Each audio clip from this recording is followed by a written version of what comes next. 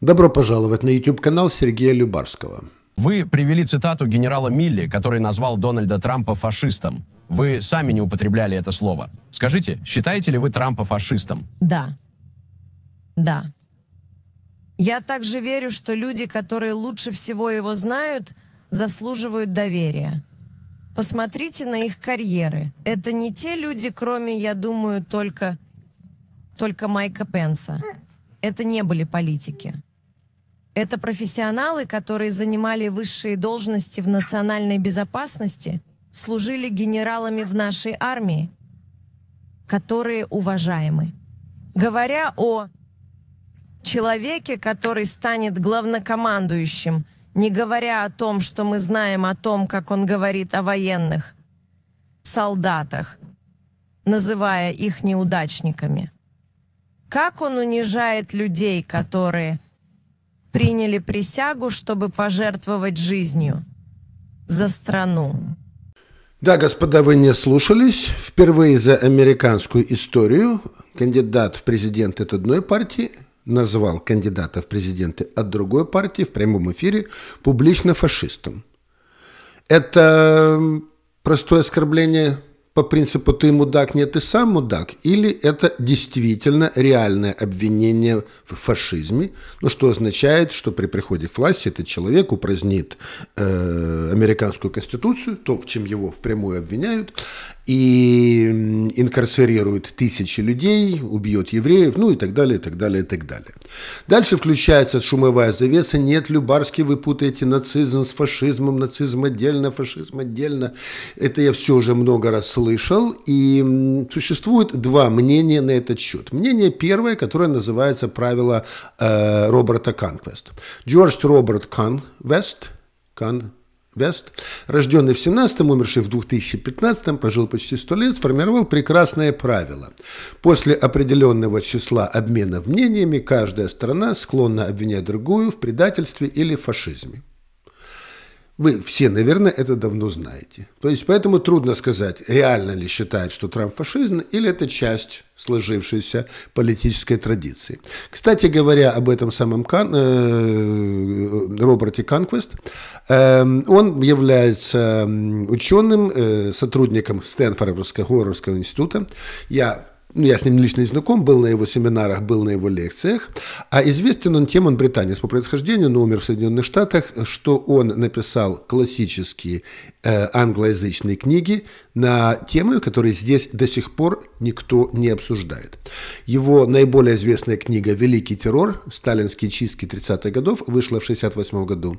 «Жертва скорби. Советская коллективизация, коллективизация и террор голодом» вышла в 1986 году и «Сталин. Разрушитель наций» вышла в 1991 году. Он наиболее фундаментальный исследователь э, сталинского и коммунистического террора, и по этой причине Демократическая партия сделала все возможное, чтобы он был непопулярен. Демократическая партия не любит говорить о жертвах сталинского террора. Вот насколько они любят говорить о жертвах фашизма – насколько они не любят говорить о жертвах сталинского террора. Здесь я хочу остановиться и прочитать комментарий, который я недавно получил.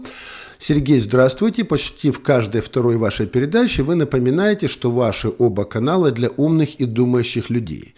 Но почти каждая вторая передача превращается в какой-то ликбез для неврастенников и идиотов. Э, текст не мой.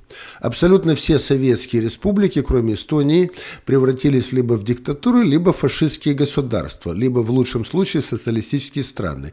Именно поэтому ни с кем, кроме как с демократической, социалистической, фашистской, популистической партией США, все через черточку, они не могут сотрудничать. Они же все овощи с одной грядки. Please, please, please, pretty, please with sugar on top. Перестаньте метать бисер перед свирьями и, пожалуйста, делайте больше интересных разных аналитических передач на разные темы, которых так было много в первые годы вашего канала.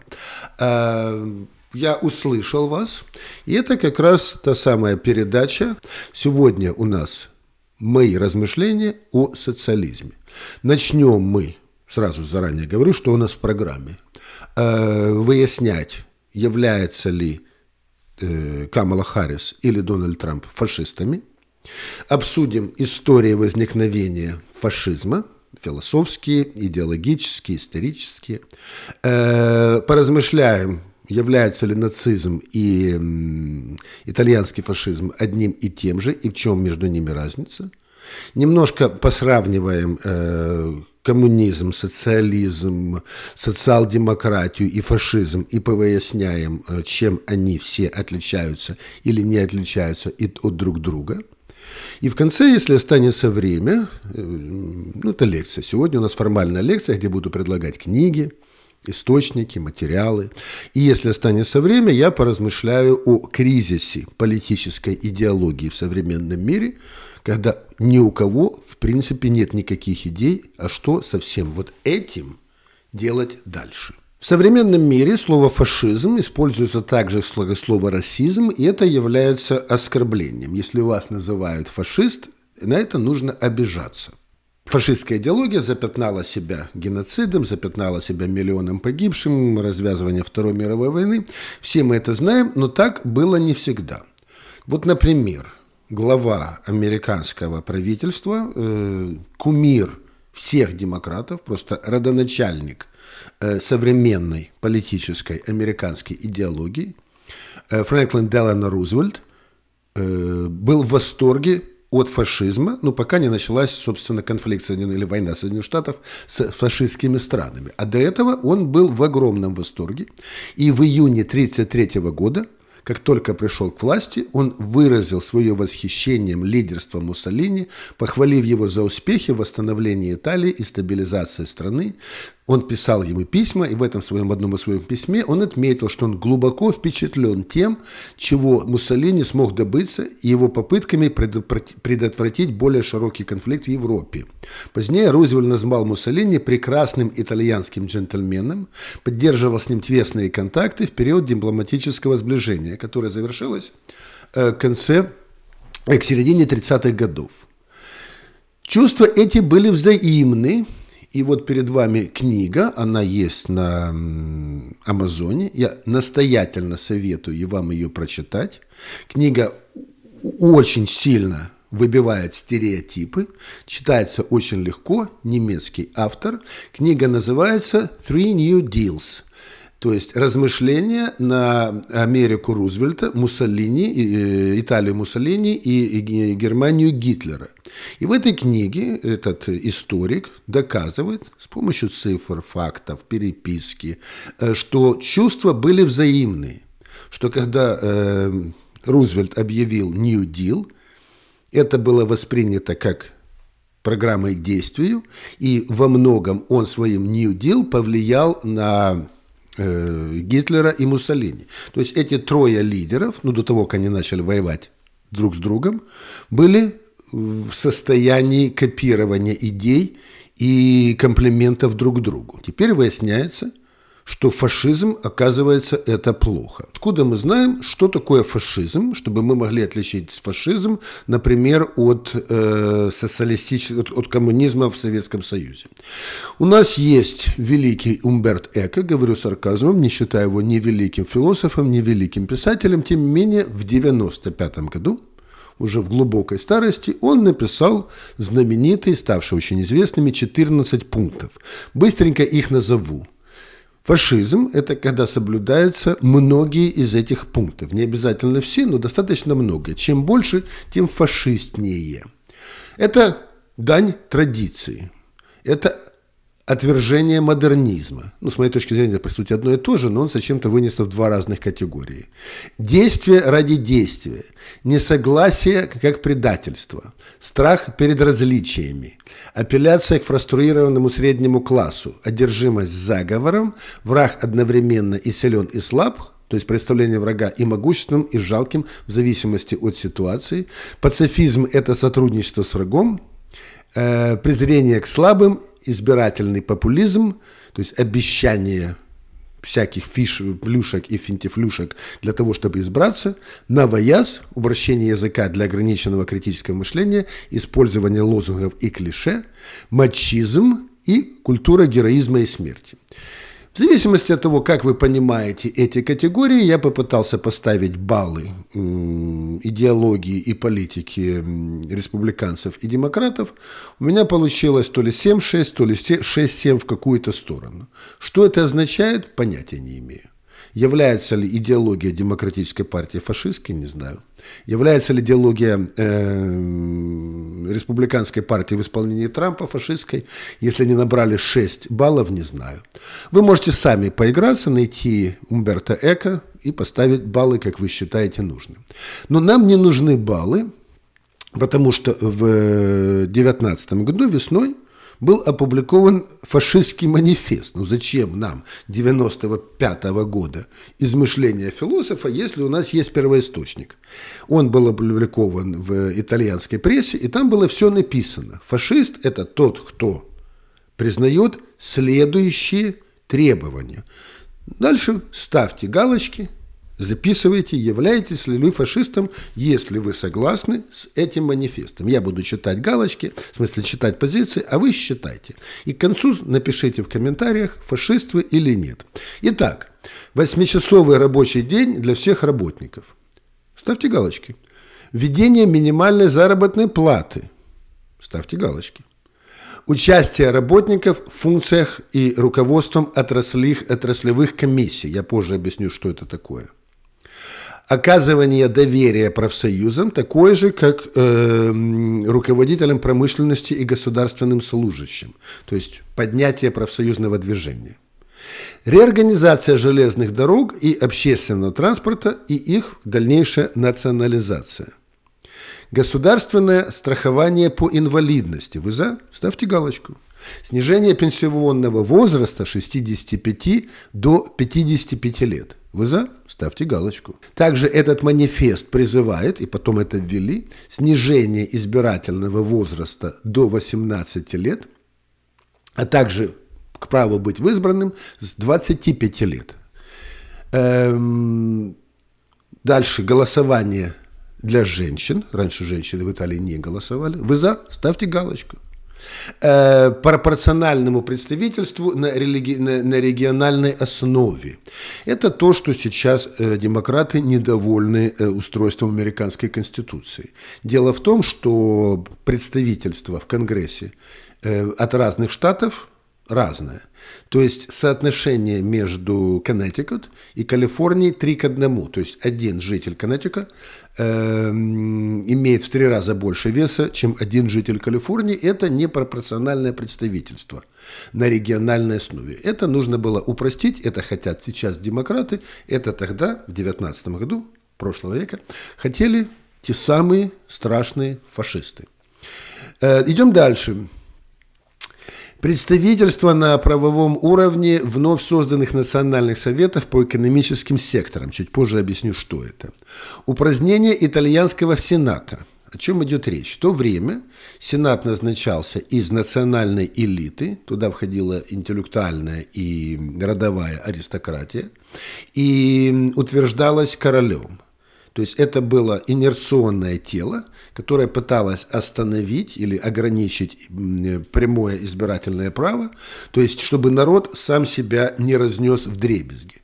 Ну, то есть по прямому объясняя, что если народ захочет э, отдать ядерное оружие за какую-то бумажку, как, например, я вчера рассказывал о Будапештском меморандуме, что был какой-то совет старейшин, совет мудрецов, которые не боятся потерять это место, они реже избираются, их утверждает король, которые остановят народ в этом глупом действии. Так вот, это нужно было уничтожить. Точно так же сейчас многие Э, демократы считают, что Сенат нужно уничтожить, потому что он нерепрезентативный, или э, ввести представительство такое же по штатам, ну, что делает, собственно, Сенат еще одним э, палатой представителей. Формирование Национального совета экспертов, то есть нужны экспертов, по труду, промышленности, транспорту, здравоохранению, коммуникациям и так далее. Это было сделано в Соединенных Штатах.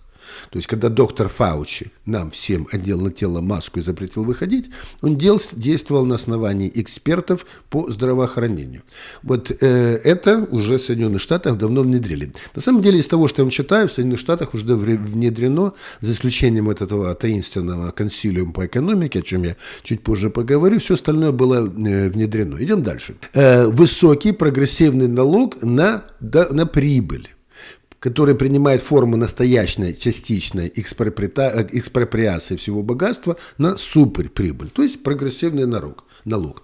В Соединенных Штатах он был до Рейгана, в 1983 году Рейган через Конгресс его отменил. В Соединенных Штатах был 85% до Рейгана прогрессивный налог. Это фашизм. Вы ставьте галочки, с чем вы согласны. Посмотрим, до какой степени вы фашисты. Изъятие всех религиозных общин, упразднение всех епископов, ну, в общем, наезд на церковь. Вы же не хотите церковь, ставьте галочку. Создание краткосрочной национальной э, территориальной обороны со специальными обязательными обязанностями. Военные заводы в, в конечном итоге должны быть национализированы. И звучат барабаны, мирная, но конкурентоспособная внешняя политика. Перечисленные мною пункты есть на интернете, на Википедии под главой «Фашистское манифесто», есть на английском, есть на русском, есть э, копии э, оригиналов. Я очень часто производил такую злую шутку со своими друзьями. Я говорю, протрать три минуты, поставь галочки, с чем вы согласны. Когда у человека получалось 70-80% согласия, я говорил, поздравляю вас, вы фашист. Человек обижался и говорил, что я что-то не так делаю.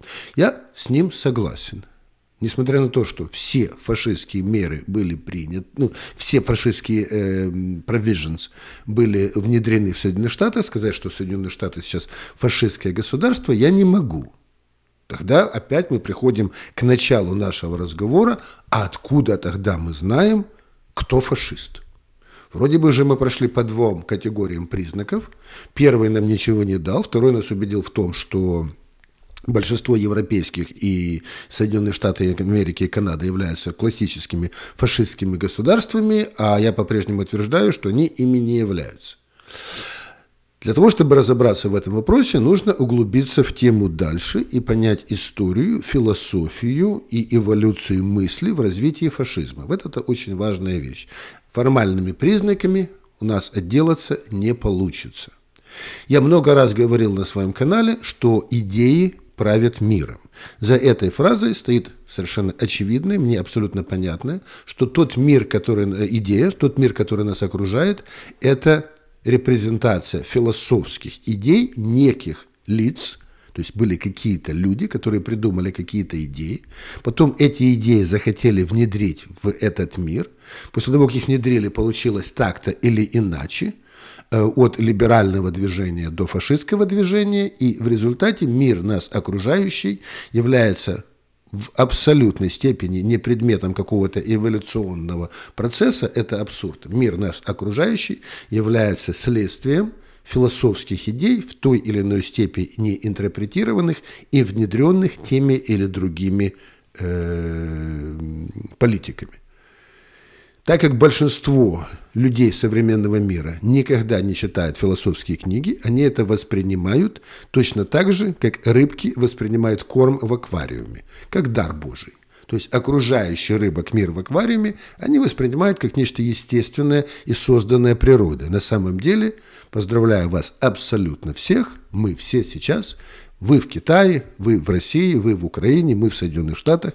Живем в мире, который был построен под влиянием тех или других философских идей, и не понимая тех или других философских идей, вы никогда не будете понимать тот мир, который нас с вами окружает. Итак, на формирование фашистской парадигмы, фашистского аквариума, если вы согласны с моей метафорой, повлияли следующие философы. Жан-Жак Руссо, о нем мы несколько раз говорили на этом канале, большинство людей из постсоветского пространства это имя знает. Фридрих Ницше. Он вложил концепцию сверхчеловека и критика христианской морали. Его акцент на воле к власти был очень инструментален, очень полезен для создания концепции фашизма. Также британский философ Томас Гоббс, в русском произношении вообще Хоббс, эм, его идея сильного государства для предотвращения хаоса и э, оправдания авторитарной власти – очень многие, в том числе Арестович, к моему удивлению, путает э, Хоббса с Джон, с Джон Лак. Джон Лак не был последователем и продолжателем Хоббса, он был его оппонентом. Он как раз был тем, который говорил об отсутствии сильного государства и наличии сильного общества. Единственное, что было общего у Хоббса, Габса и у Джон Лак, это то, что они приносили э, новый метод, философскую мысль, структурный анализ. Но это единственное, что их объединяло. Тем не менее, эту мысль, этого человека в, в постсоветском пространстве как-то знают.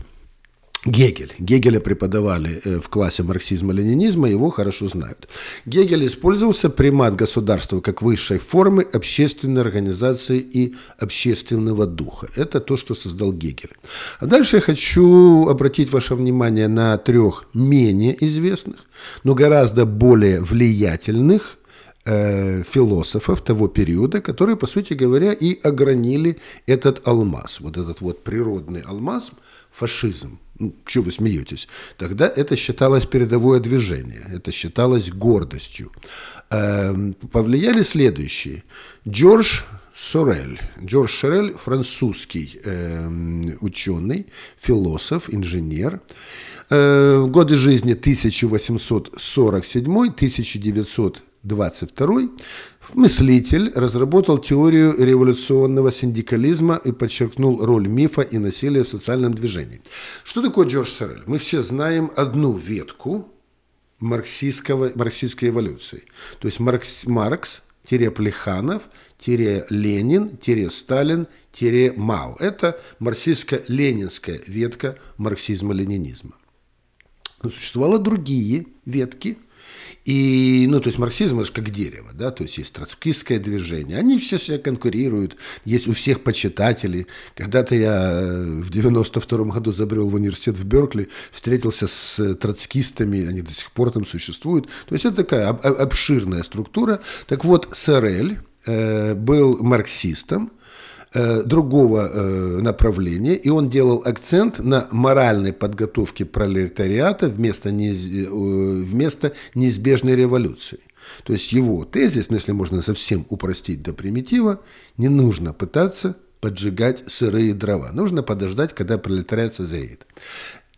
Я не буду сейчас обсуждать марксизм, просто я хочу обратить ваше внимание – что в его книге «Размышления о насилии», это был наиболее фундаментальный его труд, «Размышления о насилии», эм, он, 1908 э, года книга, он повлиял очень сильным образом на Джованни Джентиле, и уже через Джованни Джентиле это идеи перешли к Бенюте Муссолини.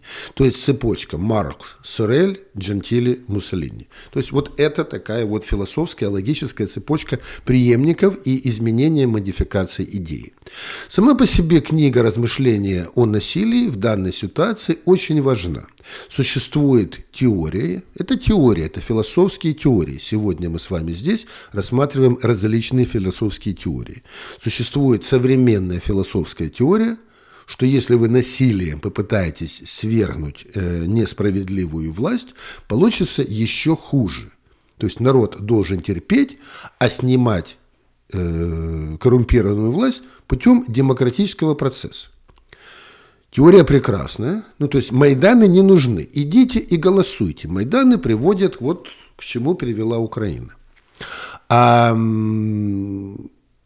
теория не работает. Теория точно не работает. В Украине было уже два Майдана. Уже было там, пять или шесть мирных смен власти, а ВОЗ и ныне там.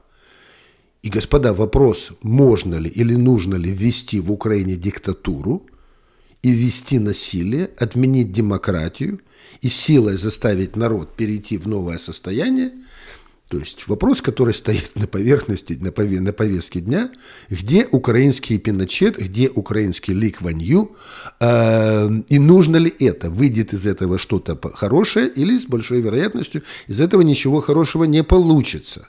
Согласитесь, совершенно не праздный, а главное, очень важный вопрос. какая философская школа, какое размышление мудрецов прошлого подвергает, под, под, э, подтверждает или опровергает эта мысль. То есть, нужно ли в Украине вести диктатуру. Я сейчас не буду терять время на эти размышления, но согласитесь, размышления далеко в данной ситуации не праздные. То же самое, по сути говоря, относится к России. Ну, то есть Путин, нравится вам это или не нравится. Мне лично не нравится, но тем не менее избран демократически. И когда Путин помре, ну, он Кощей хоть и бессмертный, но когда-то помре, на его место э, придет следующий Распутин. И у вас есть шанс, что этот следующий Распутин будет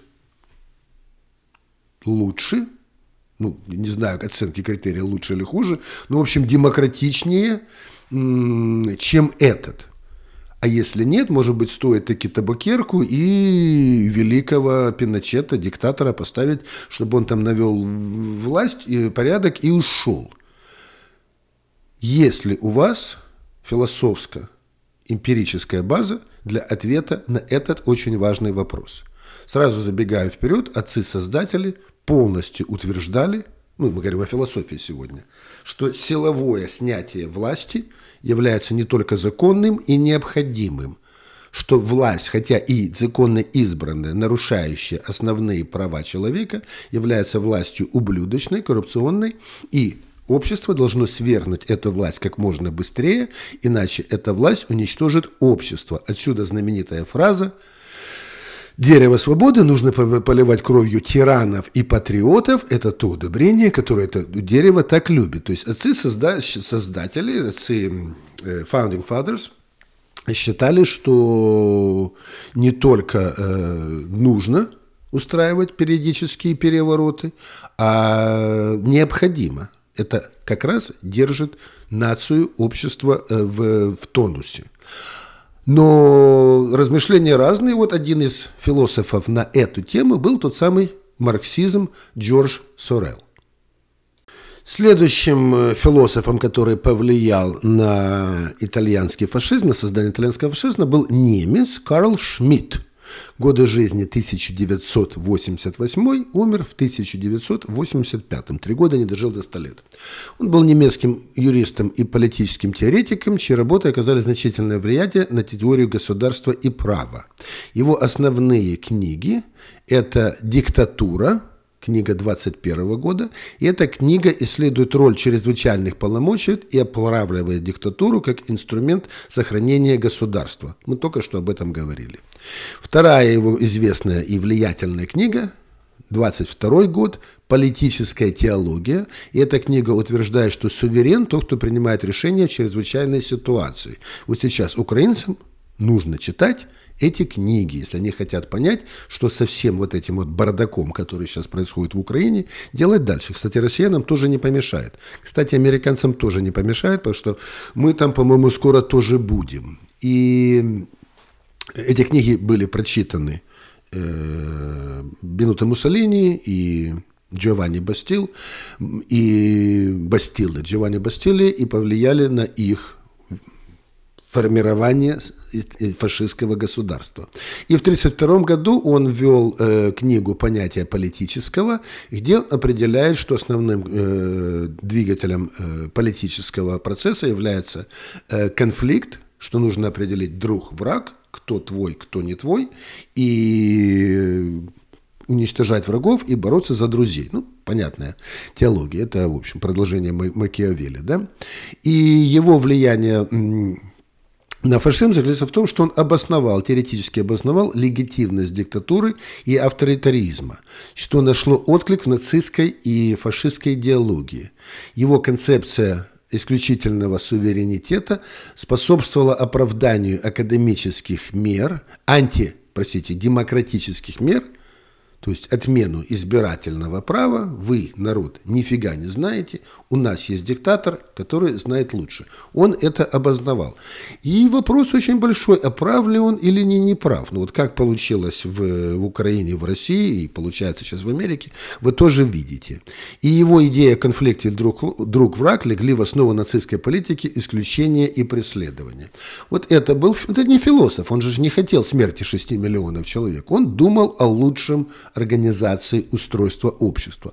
Ну, а получилось как получилось. И уж самый интересный для меня человек, которого я в ближайшее время посвящу э, отдельный, отдельный стрим, это Густав Либон в своей ключевой книге «Психология толпы» или в английском переводе просто «толпа» – «crowd». Книга вышла в 1895 году, и она рассматривает именно поведение толпы и поведение или изменение психологии человека, когда он включен, включен в толпу. Толпу он определяет как набор людей, объединенных одной идеей. Просто люди, стоящие на остановке, это не толпа. Толпа – это когда у вас есть эта идея. И он говорит, что поведение, индивидуальное поведение человека и поведение человека в толпе радикально меняется. И он, будучи психологом, французский этот Густав Лебон, начал выводить определенные принципы и предсказывать поведение общества, заранее говоря, что мы находимся в конце века индивидуализма, и мы переходим в начало века коллективизма, где поведение толпы будет все определять. И дальше он определил, до сих пор абсолютно все правильно все работает, что же является ключевыми параметрами поведения толпы и управления толпой со стороны диктатора. Я запишу как минимум один, а может быть несколько роликов на вопрос психологии толпы – и эмоциональный intelligence, то есть EQ, я говорил про IQ, а теперь пришло время поговорить про EQ.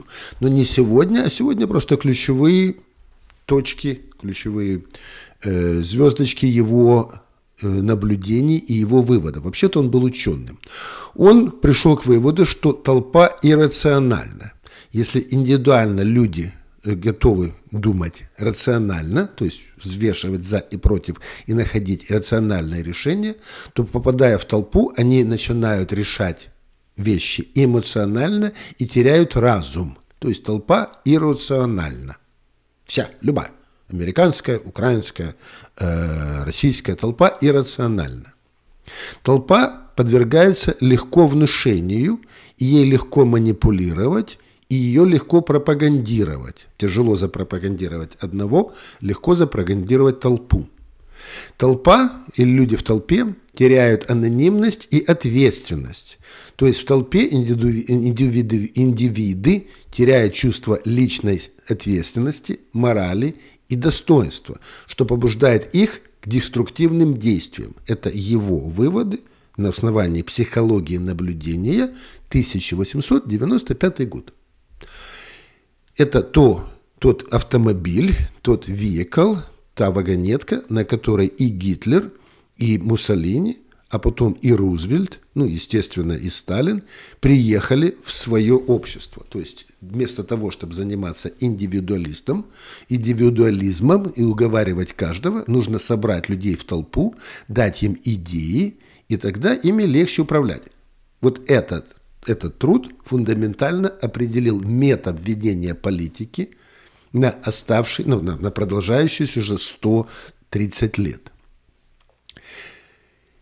Э, в толпе существует то, что он определил тогда, это его фраза «примат коллективной эмоции», одной примитивной коллективной эмоции. В толпе доминирует страх или энтузиазм, или любовь, или обожание, или агрессия. Толпа не способна на гамму сложных чувств, и этот э, примат делает ее, с одной стороны, легко манипулируемой, но с другой стороны, лег, абсолютно непредсказуемой. Ну, как было с Чаушеску. Толпа ликовала и обожала, пока они не взяли его и не повесили. Легко менять настроение толпы. И последнее, ну не последнее, но одно из главных вещей, которые он определил, это роль лидера. Толпе необходим харизматичный, управляющий толпой, формирующий простые, эмоционально заряженные идеи лидер. Вот это было определено как работает психология толпы. С тех пор произошло много интереснейших психологических учений. Все это уже сейчас перешло в область генетики, о психологии толпы – и про эмоциональную intelligence и влияние эмоций на рациональное поведение, я обещаю в ближайшее время, ну уже после выборов, поговорить на этом канале. Итак, прочитав все эти философские труды и течения, и будучи изначально марксистом-социалистом, Муссолини отказался от идеи марксизма, потому что он прекрасно понимал, что эмоциональная преданность концепции мирового объединения пролетариата бессмысленно глупа. Он об этом хорошо писал. Как он говорил, слишком большой объем эмоционального влияния. Далеко, непонятно. Гораздо лучше толпе заходит понятие нации – построенная на национализме. У меня есть несколько роликов на этом канале, посвященных национализму. Соответственно, нацию гораздо легче продать, как то, что возбуждает толпу и позволяет вести ее за собой, нежели идея пролетарии всех стран «Соединяйтесь». Ну, будучи в молодости марксистом, все произошло из марксистской идеологии. Муссолини отвергает марксизм, за что подвергается крити критике Ленина – Э, они не встречались лично, насколько известно, но вращались в одних примерно и тех же кругах. И он говорит о том, что гораздо сильнее заходит идея национального единства, что и подтверждается, его теория подтверждается в Первой мировой войне. Первая мировая война разбила мировой интернационал первый интернационал на, на клочья, в хлам, в дрызг, потому что каждый, каждая социалистическая партия моментально пошла пропагандировать свою нацию. нацизм, национализм стал гораздо более важным мотивирующим функ, э, э, идеей для формирования толпы, нежели пролетарии всех стран соединяйтесь. То есть э, Муссолини критиковал социализм за то, что он разбивает нацию, что, что внутри нации идет борьба Э, пролетариата с, с эксплуататорами, буржуазией с пролетариатом. То есть он считал социализм деструктивным, потому что социализм не объединяет нацию, а разбивает нацию. Поэтому с точки зрения Муссолини идея социалистическая неплоха, но марксизм он ревизионирует через Сорелла в то, что э, ну, получается фашизм. То есть социализм не для всей планеты, не нужно всего этого, а социализм для нашей нации. То есть нация становится во главе э, всего объединяющего эту толпу э, идеология. Дальше э, он включает антикоммунизм, естественный вывод, то есть на, национализм, естественно, эм, э, э, противоречит коммунизму, и он отторгает классовую борьбу и раскол нации по классовому признаку, то есть антиклассовый признак.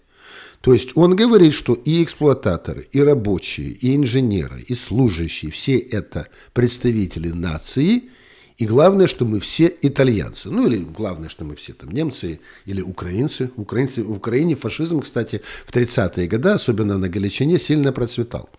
И дальше следующая идея, которую он э, формирует, это консерватив, консервативизм и традиция, возврат к естественному порядку, и это происходит из Жан-Жака Руссо, помните этот примитивный э, дикарь и так далее, мы о этом говорили. То есть роль романтического, самоотверженного лидера, который поведет за собой нацию. Арестович в лидера не вышел. Я в Украине харизматичных лидеров не вижу. Но не кажется ли вам, что если в Украине появится харизматичный лидер, вот по фашистским лекалам, то Украина сейчас уже готова к фашистскому концепции.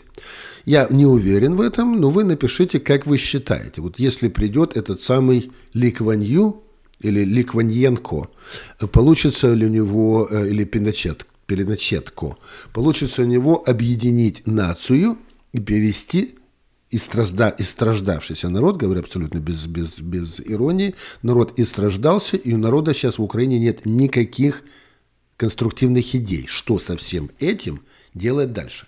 О конструктивных идеях и их отсутствии мы поговорим в конце сегодняшнего семинара. Ну и, наверное, стоит определить, а что делать с экономикой. Что делать с экономикой? И он, Муссолини, говорит следующее. Свободная рыночная экономика, построенная на идеях либерализма отвергается, она не работает, а социализм, в смысле экспроприация средств производства э, государством, отвергается, это очевидно не работает, и нужен какой-то компромисс. Он ищет этот компромисс. Этот компромисс и ищут э, и Трамп, этот компромисс ищет Камала Харрис, этот компромисс ищут все – Никому не нравится социализм, ну, с экспроприацией средств производства. Никому не нравится свободная экономика. Э, и его ответ на этот компромисс он называет корпоративизмом. То есть существуют маленькие бизнесы, их трогать не надо, то есть швейные мастерские, прачечные, такси и так далее, они сами себе живут, то есть НЭП. А вот большие предприятия нужно правильно направлять и контролировать и регламентировать. Это, по сути говоря, уже внедрено, вот эта идея корпоративизма, в экономику Соединенных Штатов. Вводятся нормы прибыли, и дальше, чего в Соединенных Штатах еще нет, он вводит понятие классового сотрудничества. То есть он делает вот я когда говорил, я позже объясню, что это значит, он делает на каждом предприятии комитеты рабочих, которые будут избирать менеджеров, назначать, ну, то есть управлять, то есть соуправлять э, предпроизводствами и вводит какой-то уровень коллаборации, то есть договоренности между владельцами предприятия и рабочие над этим предприятием. То есть кроме того, что владельцы платят огромный налог на прибыль, владельцы должны еще советоваться с рабочими и, по сути говоря, создает на каждом предприятии советы, которые решают вместе с владельцами, сколько производить, как производить, чтобы убрать конфликт. Вся его философия, философ, фашистская философия, как ни странно, была построена на гармонию существования людей в обществе и убрать производственные конфликты. Соответственно, забастовки, он был большой противник забастовок, отменяются, потому что конфликта нет. Они договорились в процессе. Зачем? Э, идти на конфликт, если можно построить структуру, обрекающую на заведомо договоренные условия работы. Забегая вперед, сразу скажу, что эта фигня не работала. Экономика при нем стагнировала, и Италия существенно отстала от других стран за времена его правления. То есть это идея э, гибрида э, управления производством точно не работала. Кроме того, Кроме того, он создавал, ну, это не, можно, нельзя сказать министерством, он их называл комитеты по управлению, каждая индустрия имела свой комитет, куда входили лидеры этого, этой индустрии. Ну, представьте себе, комитет по управлению э, написанию софтвера – софт-продукта, программного продукта, куда входит Билл Гейтс, там, Илон Маск. И они там собираются и принимают стандарты. Тогда нужно, считалось, что нужно ввести стандарты. Ставят планы, разруливают конфликт, чтобы не было ненужного производства. То есть каждый берет, вот вы пишете эту программу, я пишу эту программу. Ну, зачем нам ссориться? И это была идея корпоративной экономики. Эту идею из своей головы или из другой части тела вынял Бенвенуто Муссолини. Вот когда я вам зачитывал его э, манифест 19 года, вот все вот эти вот программы были об этом. Это было об корпоративизме. И, наверное, главная и основная часть всей этой политической философии, которая определила, собственно, развитие многих стран, это не только Италия, это Германия, это Испания, это Венгрия, это Румыния, э, если не ошибаюсь, Болгария, то есть многие страны игрались в эту игрушку, это антилиберализм, то есть отвержение либеральной философии, отрицание индивидуальных свобод в пользу коллективных интересов. Это тот фундамент, на котором все это строилось. То есть, если классический либерализм э, постулировал во главу угла индивидуализм, личность и его интересы, объединяющиеся свободно личности сформируют общество, и общество нанимает государство, которое общество жестко контролирует через системы сдержек и противовесов, то у фашистов все получается точностью наоборот. Во главе угла становится государство, которое контролирует общество, которое, в свою очередь, общество контролирует личность. То есть пирамида совершенно другая. Это было четко зафиксировано Джованни Джентили, философом, соавтором, другом и вдохновителем Муссолини в их совместной книге «Доктрина фашизма».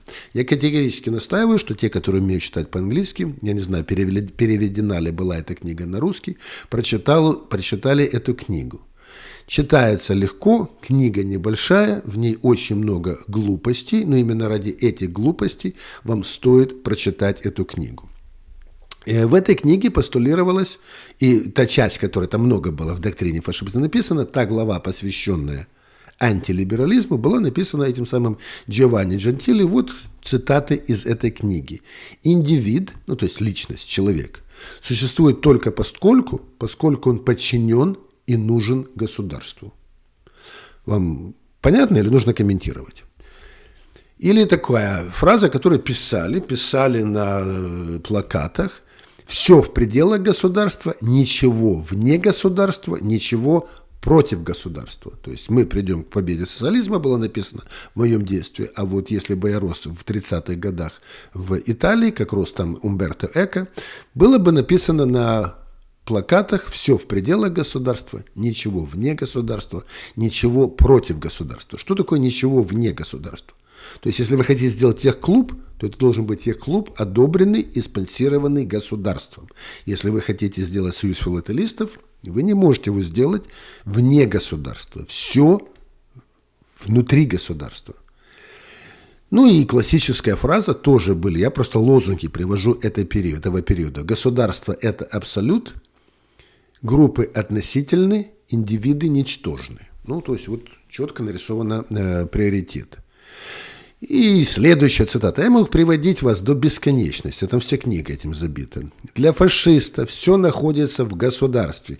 И ничего человеческого или духовного не существует, и тем более не имеет ценности вне государства. То есть примат государства как манифестация нации над обществом. Понимая все это, теперь мы начнем делать практические выводы. Вопрос нашего семинара следующий. Является ли нацистская Германия фашистским государством? Меня очень часто проправляют. Любарский, вы ничего не знаете, нацизм не является фашизмом. Давайте с вами определимся в этом вопросе. Безусловно, существуют большие и принципиальные отличия между немецким фаши... нацизмом и итальянским фашизмом. И я вам их приведу. Основное – это расовая теория нацизма, которая не существовала у итальянцев. У итальянцев нация не была построена на концепции расовой, то есть этнической принадлежности. Соответственно, Муссолини не уничтожал евреев и как раз боролся за единство наций независимости от этнического происхождения. С точки зрения Муссолини нужно было сила нации в ее единстве. И разбивать людей на разные этнические группы, и тем более уничтожать разные группы, было преступно и абсурдно. У Гитлера этого не было. Он считал, что немецкая раса превосходит над всеми остальными, а немецкие граждане еврейского происхождения должны быть уничтожены, еврейские граждане славянского, простите, немецкие граждане славянского происхождения не могут обладать теми же правами и так далее. Ну, то есть это принципиальная разница. Эм, следующее. Роль государства. И тот, и другой считал доминанту государства над обществом и личностью, но у Гитлера над государством был еще один уровень – это раса. То есть примат всего – это раса у Гитлера, потом государство, потом общество, потом личность. Это не одно и то же. То есть Гитлер был заражен Евгеникой. У меня была, был семинар недавно на эту тему. Я, в принципе, иду по какой-то программе, пытаясь объяснить, что с нами происходит и к чему мы идем. То есть суть моих лекций, хотя может вам казаться разрозненной, это мое мой анализ исторических процессов, которые привели нас к тому состоянию, в котором находится мировое э, философское поле и общество сейчас, и к тому, к чему мы можем прийти в каком-то обозримом будущем.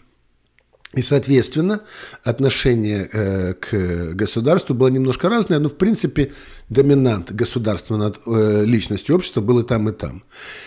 Было другое отношение к экспансии, то есть если и там, и там был Третий Рим. То есть был Третий Рим у Муссолини и был Третий Рейх, что-то им нравилась цифра 3, у Гитлера.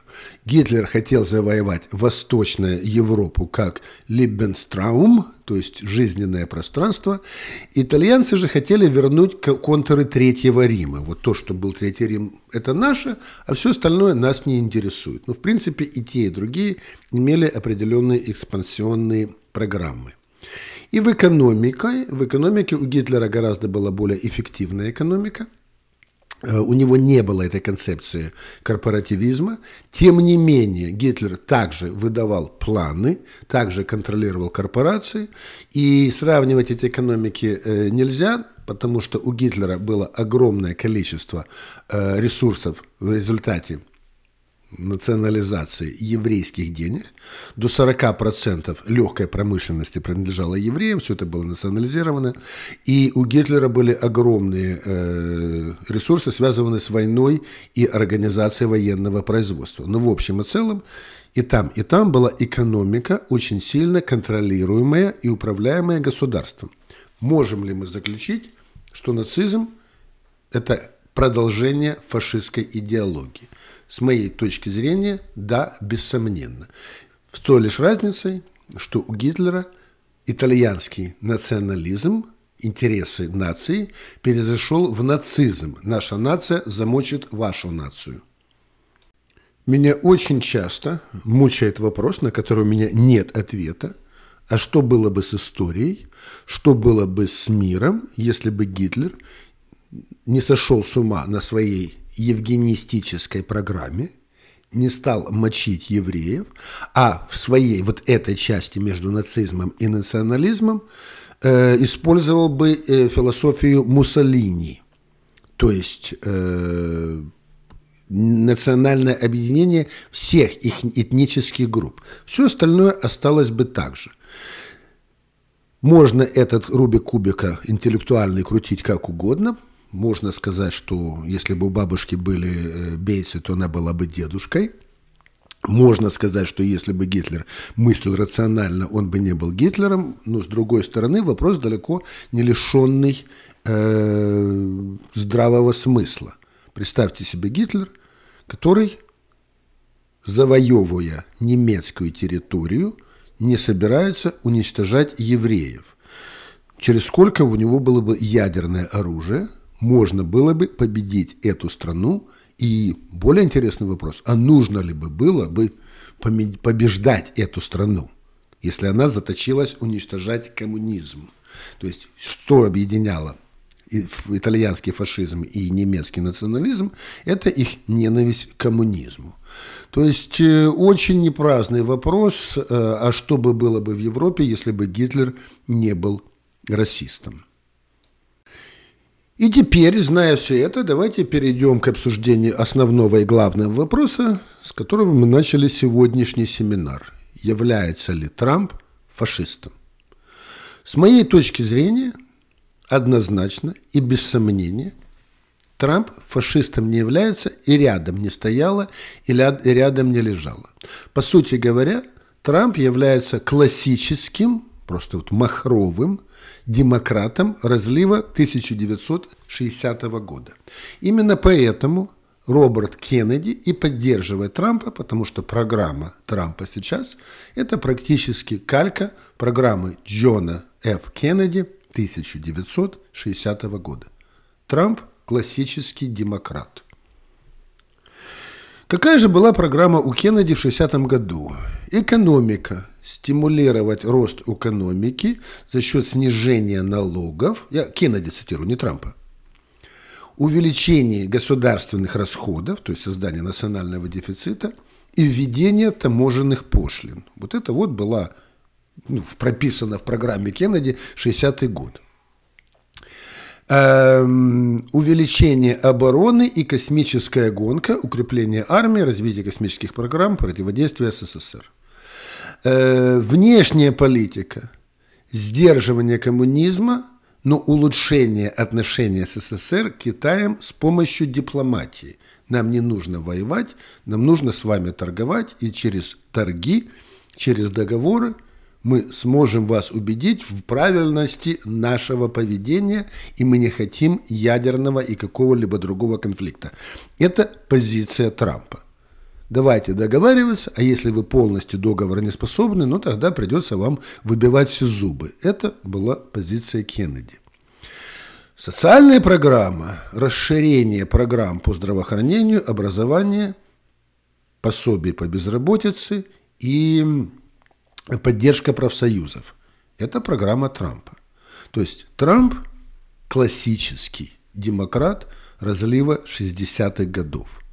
Так же, как Кеннеди, он был за ограничение абортов, то есть не полный запрет, но за ограничение.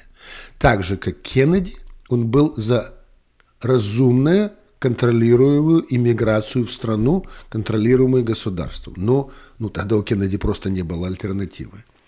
Так же, как Кеннеди, он был против репараций, и так же, как Кеннеди, он считал, что национальный вопрос, вопрос черных, нужно решать интеграцией черных в американскую экономику.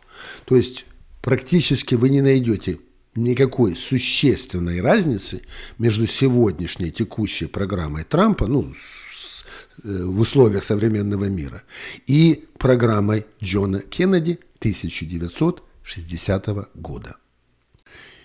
И теперь, зная все это, давайте перейдем к обсуждению основного и главного вопроса, с которого мы начали сегодняшний семинар. Является ли Трамп фашистом? С моей точки зрения, однозначно и без сомнения, Трамп фашистом не является и рядом не стояла, и рядом не лежала. По сути говоря, Трамп является классическим, просто вот махровым демократом разлива 1960 года. Именно поэтому Роберт Кеннеди и поддерживает Трампа, потому что программа Трампа сейчас – это практически калька программы Джона Ф. Кеннеди 1960 года. Трамп – классический демократ – Какая же была программа у Кеннеди в 60 году? Экономика. Стимулировать рост экономики за счет снижения налогов. Я Кеннеди цитирую, не Трампа. Увеличение государственных расходов, то есть создание национального дефицита, и введение таможенных пошлин. Вот это вот было ну, прописано в программе Кеннеди 60-й год.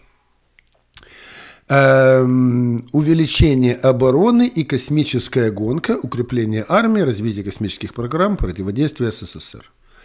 Э, внешняя политика, сдерживание коммунизма, но улучшение отношений с СССР Китаем с помощью дипломатии. Нам не нужно воевать, нам нужно с вами торговать, и через торги, через договоры – мы сможем вас убедить в правильности нашего поведения, и мы не хотим ядерного и какого-либо другого конфликта. Это позиция Трампа. Давайте договариваться, а если вы полностью договора не способны, ну тогда придется вам выбивать все зубы. Это была позиция Кеннеди. Социальная программа, расширение программ по здравоохранению, образованию, пособий по безработице и поддержка профсоюзов. Это программа Трампа. То есть Трамп классический демократ разлива 60-х годов. Так же, как Кеннеди, он был за ограничение абортов, то есть не полный запрет, но за ограничение. Так же, как Кеннеди, он был за разумное контролируемую иммиграцию в страну, контролируемую государством. Но ну, тогда у Кеннеди просто не было альтернативы. Так же, как Кеннеди, он был против репараций, и так же, как Кеннеди, он считал, что национальный вопрос, вопрос черных, нужно решать интеграцией черных в американскую экономику. То есть практически вы не найдете никакой существенной разницы между сегодняшней текущей программой Трампа, ну, с, э, в условиях современного мира, и программой Джона Кеннеди 1960 года. Более интересный вопрос, является ли Камала Харрис фашисткой. В определенном смысле она гораздо ближе к фашистской, именно нацистской идеологии, чем Дональд Трамп. Сама идея разделять нацию, то есть американскую нацию, на этническую принадлежность, этот черный, этот белый, этот индеец, этот мексиканец, является частью фашистской, нацистской идеологии. С точки зрения Муссолини, этнически нация едина, вне зависимости от вашего этноса. Это, кстати, то же самое, что происходит в России – когда я говорю, что в России фашизм, мне говорят, нет, мы, мы не убиваем евреев. Замечательно, в Италии их тоже не убивали. А вот у Камала Харрис существует понятие рас и расовые принадлежности и предпочтения и преференции, и это очень сильно, простите, попахивает фашизмом. Также существует желание управлять экономикой, вмешиваться в экономическое корпоративное общение. Также существует желание внешней экспансии. И если вы возьмете 14 пунктов Эмберта Эко, вы обнаружите, что существует определенная проблема со свободом слова. Это фашизм. Слово нужно запрещать во имя целей государства. Существует необходимость что-то делать ради действия. Она постоянно повторяет, давайте перевернем страницу. А что будет на следующей странице? Зачем переворачивать страницу, если мы не до конца понимаем, а что там нас ждет? Само переворачивание страниц или то, что кричал ее предшественник Обама, перемен, перемен, перемен, замечательно. А куда бежим? Чего строим? Какие цели? Нет, главное Цель ничто, движение все. Вот цель ничто, движение все, действие ради действия – это, согласно Умберту Эко, это фашизм. Несогласие как предательство, критика инакомыслия – это, это классическая Камала Харрис и представители Демократической партии – Страх перед идеологическими различиями, страх перед инакомыслием, свобода слова – это классическая Камала Харрис апелляция к фруструированному среднему классу и люмпен-пролетариату – это классическая Камала Харрис. Я вам дам 20 тысяч лоунов, вам не доплачивают, я заморожу цены на продукты питания. Это классический фашизм. Одержимость заговором. Я просто иду по списку э, Умберта Эко. То, что якобы безоружные люди пытались свергнуть ее правительство 6 января – ну, чушь, которую невозможно натянуть на какую здоровую голову. То есть там был мирный протест, который расстреляли. Да, это был не конституционный, но мирный протест. Он нарушал американскую конституцию, но людей довели до состояния, когда люди начали огрызаться на полицейских, на самом деле он формировался как мирный протест. Если бы эти люди хотели устроить переворот, там бы было все совершенно по-другому. И вот, вот эта вот одержимость этим заговором, что 6 января был заговор, это классический фашизм. Это поджог Рейхстага. Враг одновременно силен и слаб. Это классика Камала Харрис. То есть ничтожные республиканцы, которые мы, мы, которых мы уничтожим, в то же время мы их боимся, потому что они очень сильны, и если мы их уничтожим, нам, нам, нам все – сотрудничество с врагом это, – это преступление. Любой, который перейдет на республиканскую сторону, будет уничтожен. Является ли Камала Харрис фашисткой? Нет. Так же не является, как не является фашистом Дональд Трамп. Эм, это то самое, тот самый принцип, с которого я начал, когда люди начинают спорить о политике. К третьему разу они обвиняют друг друга в фашизме, не понимая до конца, что это такое. Давайте выбросим фашизм за скобки нашего рассмотрения и перейдем к той линейке, к той шкале, которая э, всем просто и понятна. Это роль государства в обществе. Системы, которые приподнимают государство в обществе, являются социалистическими, фашистскими, националистскими, как угодно. И это мы видели на протяжении всего последнего столетия, все последнее столетие, современный мир экспериментировал с э, контролем государства над обществом. Эксперимент закончился самым большим количеством уничтоженных граждан в абсолютном и в относительном размере от рук собственного государства в мирное время. Больше 100 миллионов человек погибло от рук собственного государства в мирное время, в основном в Китае. Ну и Советский Союз тоже не подкачал. То есть, когда вы даете государству неограниченные права и свободы, государство пожирает в прямом смысле своих детей. Поэтому, с моей точки зрения, существует только одна политическая линейка, существует много социальных осей, но существует главная ось – это роль государства. И по ней Дональд Трамп, будучи демократом, гораздо ближе к центру, нежели Камала Харрис. Она радикальна. Мои проблемы, мои личные, политическая критика в адрес, в адрес Дональда Трампа, ну, согласитесь, у меня имеет право быть свои политические взгляды, предпочтения и анализ. Так вот, моя проблема с ним, как у меня проблема со всеми демократами, я не демократ. Я классический рейгановский республиканец. Я сторонник великой фразы Рейгана «Девять самых страшных слов в английском языке. Я из правительства, и я пришел вам помочь». Эти слова вы от Трампа не услышите, потому что он готов защищать американский пролетариат от нечестной конкуренции, строить э, дороги, выдавать пособия и так далее, и так далее. И это мой предмет идеологического разногласия с Трампом – и это то, почему у меня конфликт с трампистами. Естественно и понятная позиция. Но я не выбираю между идеальным кандидатом, такого не существует сейчас. Я выбираю между демократом Трампом и очень радикально левой э, Камалой Харрис. И заканчивая сегодняшний обзор, я хочу поговорить о для меня самом важном. Времени осталось очень немного, но я обозвать, обозначу это поле.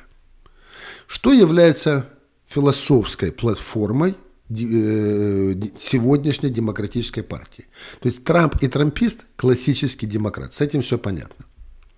Это мы видели последние 60 лет. С этим все понятно. А вот на какой философской, фундаментальной идеологической основе покоятся сегодняшние э, демократы? У них не существует идеологической платформы. Это то, что по-английски называется хач-пач, то есть сборная солянка разных фрагментов и кусков всех левых социально-политических теорий, которые отработало э, мировое общественно-политическое пространство за последние сто лет. Здесь и куски марксизма, здесь и куски фашизма. Здесь и куски нацизма и евгеники. Все засунули в один чехол.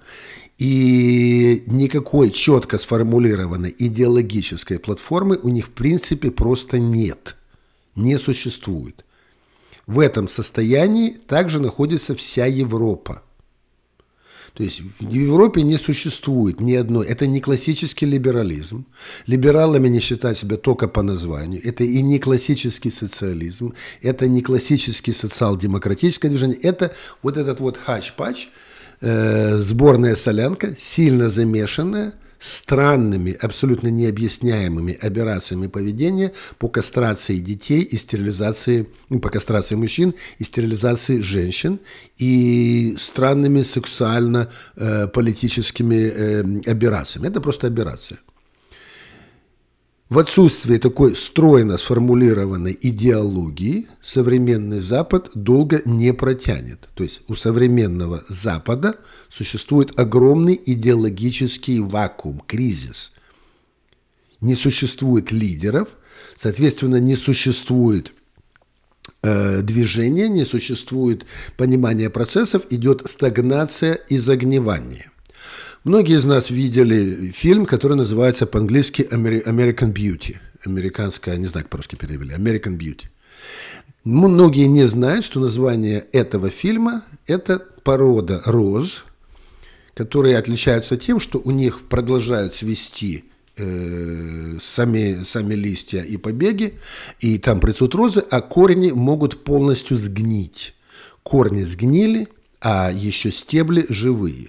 И это была символика фильма. Фильм вышел в 1999 году, считайте, 25 лет назад.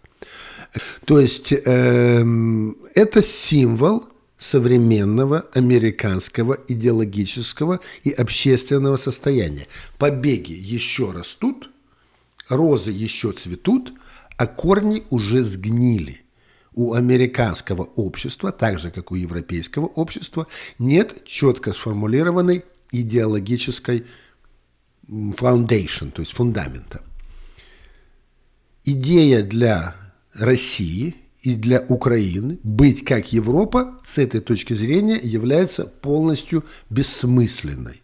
То есть если Европа потеряла свои корни, и Европа не обладает никакими идеями, что делать дальше, при этом падает рождаемость, при этом нарастает уровень конфликта, падает производительность э, производства, эффективность производства, и мы это все видим, как в отражении в капле, капле дождя, мы в это видим в, в Украино, э, русско-укра... российско-украинской войне, то идея «давайте сделаем Украину как Францию» не работает.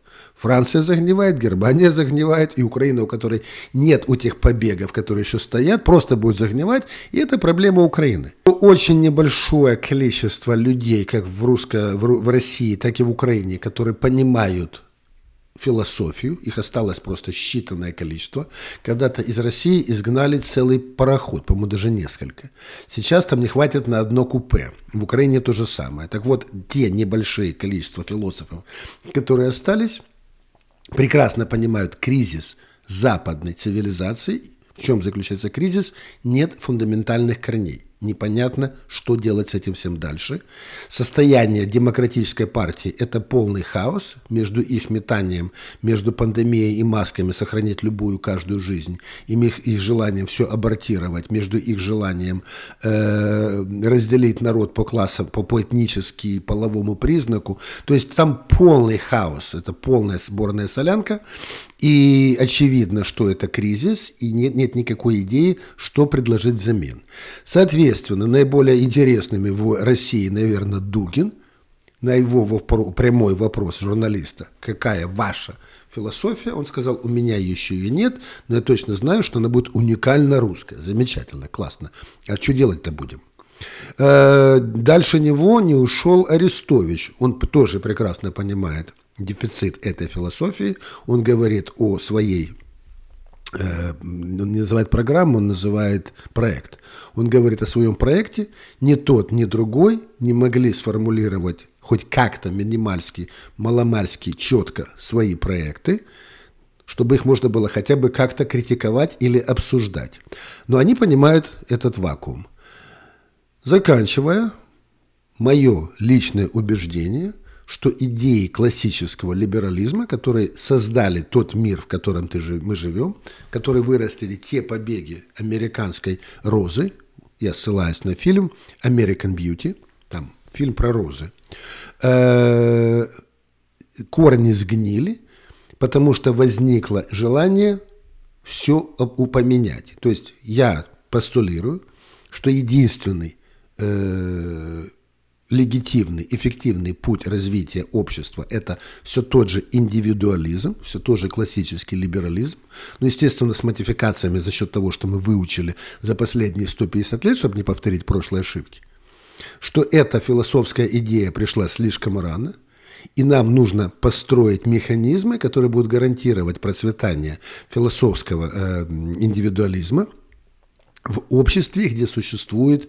э, толпа – Толпа не терпит индивидуализм. Нам нужно защитить индивидуализм, который двигает общество вперед, от нападок толпы. Или, как сказал Мэдисон, американская конституция должна обеспечить процветание креативного меньшинства от нападок агрессивного большинства, толпы, маб. Мы слишком рано выбросили за борт истории идеи классического э, классического индивидуализма. К ним необходимо вернуться. они абсолютно себя не изжили. Можно дополнить американскую конституцию. И с моей точки зрения, последние 120-130 лет западная цивилизация съехала с хорошо намеченного и проторенного пути и решила проэкспериментировать, что будет, если толпе дать власть. Вы видите ответ на этот вопрос в, украинско, в российско-украинской войне. До войны в Украине был все равно тот же кошмар, потому что толпе дали власть. Вы видите фиаско этой же парадигмы, толпе дали власть в Соединенных Штатах и в Европе. Всем спасибо за время, за внимание. Увидимся в следующий раз.